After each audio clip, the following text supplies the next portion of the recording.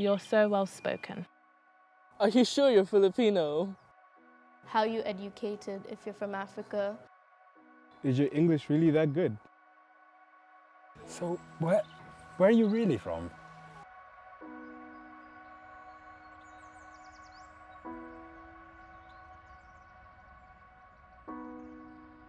My name is Ahmed. Uh, I am 26 years old uh, and I'm an undergraduate student at Keele. I study international relations with philosophy. So certain examples of microaggressions I, have experienced in the, in the past include the typical ones that you hear of, people asking you where you're really from.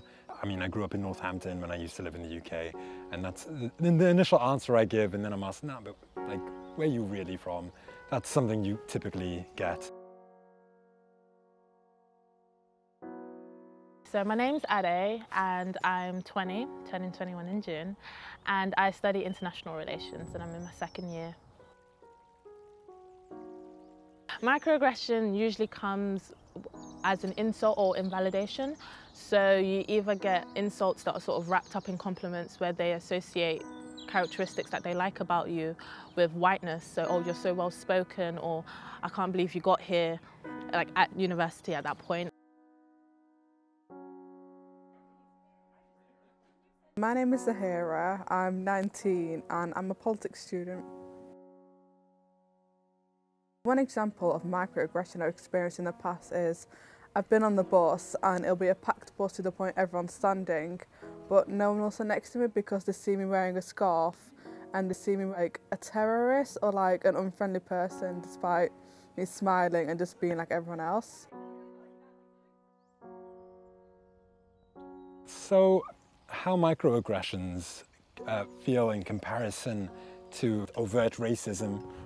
In a way, you know how to deal with it better because while obviously it's, it's usually more aggressive, it's usually more directed, and in that sense, it's a horrible feeling, but you can address it very directly. But with microaggressions, uh, it's difficult because while it's less aggressive, there's also much less you can do about it. It's much harder to convince people that it happens or that it exists.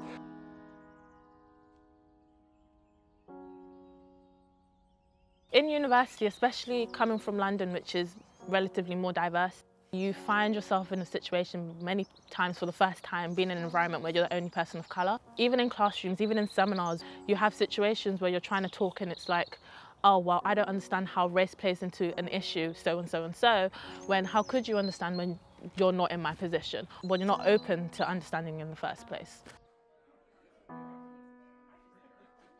I've experienced microaggressions at uni and it makes me feel more upset because it's more so among the students who I think would be more so my friends and be more liberal and more understanding. I would know to like not stereotype me or like be subtly racist, but instead they do and say stuff I have good English, even though it's like one of my first languages.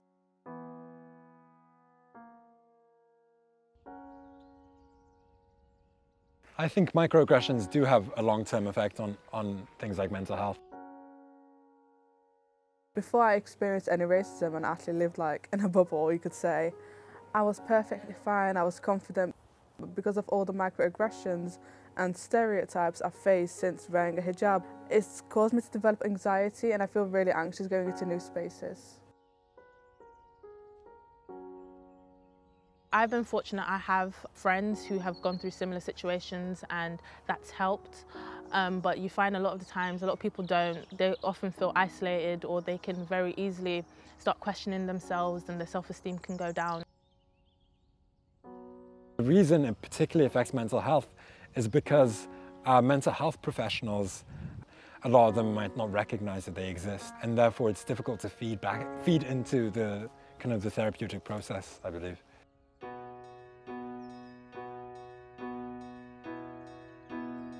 I don't think there's any straightforward solution to stop microaggression. I think it starts with education, so people learning why it's not acceptable to say certain things, why people might get offended by certain things, and as microaggressions often played off as banter, why that's not okay. Also having support systems and procedures in institutions that help people report the problem and take the problem seriously.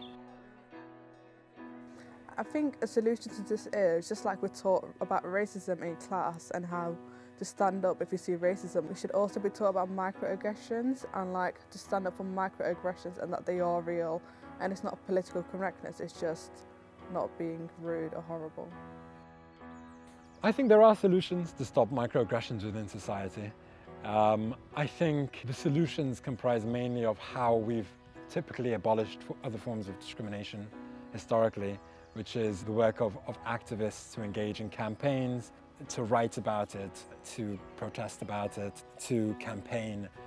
What I think is, is most important is listen to people of colour and, and, uh, and just take it on board.